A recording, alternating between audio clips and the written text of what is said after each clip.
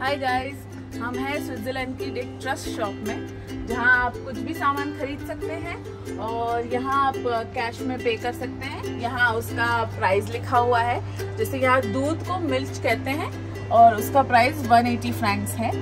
और यहाँ आप पैसे डाल दीजिए और या तो अपना जैसे गूगल पे या कुछ होता है, वैसे यहाँ पे ट्विंट है, जहाँ आप स्कैन करके आप पेमेंट कर सकते हैं। बाकी ये फ्रिज है।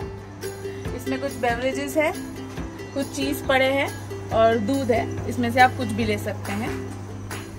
यहाँ एक फ्रोजन सेक्शन भी है। ये फ्रोजन एरिया है जिसमें कुछ आइसक्रीम्स रखी हुई हैं और कुछ मीट रखा हुआ है।